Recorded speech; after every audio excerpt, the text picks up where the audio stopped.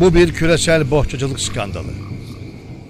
Bu skandal koruma altındaki bir türün nasıl izinsiz ve bohçacılık yoluyla avlandığını, Türkiye'den nasıl yurt dışına çıkarıldığını, Safari Club International web sayfasında bir gurur vesilesi olarak dünyaya nasıl duyurulduğunu, avı korumakla görevli kişilerin nasıl görevini ihmal ettiğini, avı korumak için herkesten daha fazla sorumlu davranması gereken av turizmi şirketi ve av rehberinin nasıl bir aymazlık içinde olduğunu gösteriyor.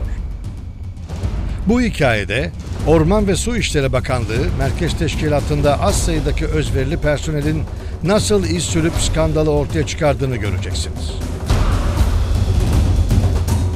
Öykü, İspanyol iş adamı ve etik kurallara bağlı bir avcının Türkiye'de avlanma serüveniyle başlıyor. İspanyol avcı Jose Madrazo Türkiye'de geyik avlamak istiyor. Bugüne kadar tüm avlarını yasal izin ve avcılık etiği çerçevesinde yapan Jose Madrazo, bu avı için uygun bir firma arıyor ve karşısına Türkiye'de bir av turizmi şirketi olan Shikar Safaris çıkıyor. Firmanın İngilizce olan web sitesi şirketin av turizminde çok iddialı olduğunu gösteriyor. Firma Anadolu yaban koyunu, teke gibi büyük başarılı avları sitesinde yayınlıyor. Sitenin Kaan Karakaya imzalı Hakkımızda bölümünde Şikar Safari şirketinin Türkiye'de kurulu olup Avrasya, Asya ve Avrupa'da 18 yıldır av turizmi yaptığı ifade ediliyor. Şirket, dünyanın önde gelen av safari kuruluşlarının üyesi. Neredeyse Türkiye'nin dünyada en çok tanınan av turizmi şirketi gibi görünüyor. Jose Madrazo, Şikar'la geyik avı için anlaşıyor ve Türkiye'ye geliyor. Başına hayat boyu unutamayacağı olaylar geleceğinden habersiz. Şimdi filmi biraz ileriye saralım. Orman ve Su İşleri Bakanlığı, Doğa Koruma ve Milli Parkları Genel Müdürlüğü, Av Yönetimi ve Yaban Hayatı Daire Başkanlıkları yasal avcılığı teşvik etmek ve yasa dışı avcılığa yani bohçacılığa izin vermemek için çok titiz çalışıyor. Dairelere her gün onlarca e-mail geliyor. Bir e-mail dairedeki yetkililerin özellikle dikkatini çekiyor. E-mailde işte bu web sayfası var. Merkezi Amerika Birleşik Devletleri'nde olan Safari Club International dünyanın rekor veya rekora yakın avlarını sitesinde yayınlıyor. Yasal ve etik avlanan avcılar yaptıkları avları belgeleyerek Safari Club'a gönderiyor. Safari Club ise bunu dünyaya duyuruyor. Fakat bu kez durum farklı. Safari Club'ın web sayfasında yayınlanan bu av kaçak. Evet, resmen kaçak. Web sayfasındaki bilgilere göre İspanyol avcı Jose Madrazo, Türkiye'de altın madalyalı bir Agent Striped Hyena yani çizgili sırtlan avlamış. Tarih Ekim 2013. Sitede av sertifikalanmıştır yazıyor. Yani yasal bir av. Peki gerçek böyle mi? Ne yazık ki değil. Yalnızca Afrika'da bulunan diğer sırtlan türlerinden farklı olarak çizgili sırtlan Asya'da hatta Türkiye'de de yaşıyor. Son olarak 2007 yılında fotokapanla Türkiye'de yaşadığı tespit edildi. 2010 yılında Çevre ve Orman Bakanlığı ve Merkez Av Komisyonu kararıyla çizgili sırtlan avı kesinlikle yasaklandı. Avlayanlar için 15 bin lira para cezası konuldu. Çizgili sırtlanların Türkiye popülasyonunu korumak için Güneydoğu Anadolu bölgesinin dışında Altınözü Hatay'da 38.811 hektarlık bir alan yaban hayatı geliştirme sahası olarak ayrıldı. Peki kesinlikle yasak olan çizgili sırtlan avı nasıl yapıldı? Ve nasıl Safari Club International tarafından duyuruldu? Av Yönetimi Dairesi kendisine gelen ihbar mailine giderek Safari Club'la yazışmaya başladı. Uzun yazışmalar sonucunda Safari Club bu avın yasak olduğunu öğrenince hemen sitesinden çıkardı. Çünkü Safari Club yaban hayatının korunması için dünya çapında çalışmalar yapıyor ve çalışmalar için büyük fonlar ayırıyor. Kaçak bir avı himaye etmesi, onore etmesi düşünülemez. Nitekim Safari Club'ın bu olayda gösterdiği duyarlılık bakanlık yetkilileri tarafından da takdir ediliyor. Bakanlık yetkilileri burada durmuyor. Bu avcının peşine düşüyor ve buluyor. Titiz araştırmalar sonucunda olay ortaya çıkarılıyor. Evet, Jose Madrazo gerçekten Türkiye'ye gelmişti. Şikar Safari şirketi aracılığıyla geyik avlamıştı. Tüm belgelerini almış, lisans ücretlerini ödemişti. Fakat geyik avı sırasında ilginç bir olay yaşanıyor. Jose Madrazo'nun önünden bir çizgili sırtlan geçiyor. Av rehberi hiç çekinmeden Jose Madrazo'ya sırtlanı vurmasını söylüyor. O anda avda bulunan Milli Parklar görevlisi de memur da sesini çıkarmıyor. Bildiğiniz gibi av turizmi kapsamında yapılan avlara mutlaka bir milli parklar görevlisi de eşlik ediyor.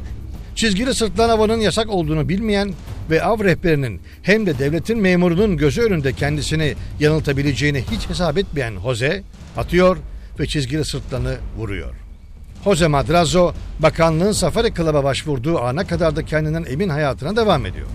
Çünkü avı rehber ve memur gözetiminde yapmış, kendisine verilen belgelerle avı yurt dışına çıkarmıştı. Öte yandan bu kadar bilinen, tanınan bir av turizmi firmasının kendisini yanıltabileceği doğal olarak aklın ucundan bile geçmemişti. Nitekim bu avın resimlerini, tarih, yer ve ölçüleriyle birlikte Safari Club'a göndermiş olması aslında Madrazo'nun yasak bir av yaptığından haberdar olmadığını gösteriyor. Olayın üzerine giden av dairesi hemen durumu Orman ve Su İşleri Bakanlığı Teftiş Kurulu'na bildiriyor. Teftiş Kurulu olayı araştırıyor ve doğru olduğunu tespit ediyor. Memur hakkında soruşturma başlıyor. Jose Madrazo ise yaklaşık 30 bin lira ceza kesiliyor. Jose durumu öğrenir öğrenmez hemen Türkiye geliyor ve bir avukat tutuyor. Bakanlığa aynen şöyle diyor.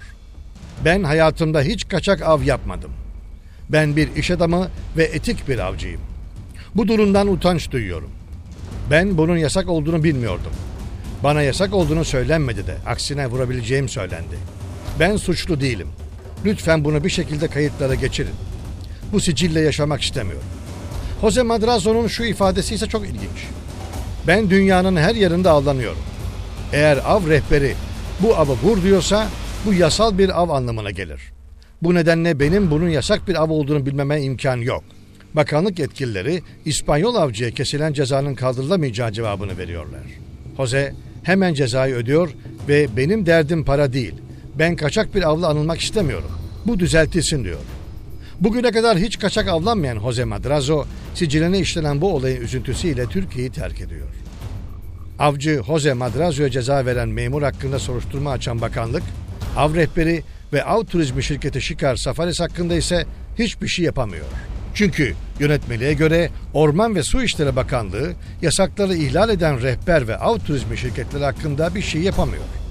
Yalnızca durumu Kültür ve Turizm Bakanlığı'na bildirme etkisi var. Kültür ve Turizm Bakanlığı'nın yapabildiği ise şirkete bir ihtar vermek. Bu küresel bohçacılık olayından en az zararla turizm şirketi ve av rehberi çıkıyor. Türkiye'den Amerika'ya uzanan çizgili sırttan skandalı bir milat oluyor. Orman ve Su İşleri Bakanlığı bu örnek olay üzerine mevzuatı değiştirme kararı alıyor. Av turizmi yönetmeliğini değiştiriyor. 16 Nisan 2016 tarihinde değiştirilen yeni yönetmelik resmi gazetede yayınlanıyor. Yeni yönetmelikte artık Orman ve Su İşleri Bakanlığı'na yasak türü avlatan turizm şirketinin av turizmi izin belgesini askıya alma etkisi veriliyor. Böylece artık yasak bir türü avlatan av turizmi şirketi doğrudan Orman ve Su İşleri Bakanlığı tarafından cezalandırılacak. Belgesi önce askıya alınacak ardından iptal edilecek. Türkiye'den başlayıp Safari Club'a uzanan ve uluslararası saygın bir avcıyı dünya nezdinde itibarsız hale getiren bu skandal, Türkiye'nin yaban varlıklarının korunması ihtiyacını bir kez daha gözler önüne seriyor. Türkiye'de koruma altında bulunan ve yaşamını sürdürmesi için geliştirme sahaları açılan çizgili sırtlan ne yazık ki basit menfaatler uğruna böyle yok ediliyor. Unutmamak gerekir ki nasıl kültürel varlıklar Türkiye'nin milli değeri ise yaban varlıkları da aynı değerde bir milli değerimizdir. Gelirini av turizminden sağlayan şirketlerin ve av rehberlerinin herkesten önce yaban yaşamının korunması ve geliştirilmesi konusunda özenli olması gerekiyor. Bu küresel skandal ne yazık ki Türkiye'de henüz bu bilince ulaşılamadığını gösteriyor.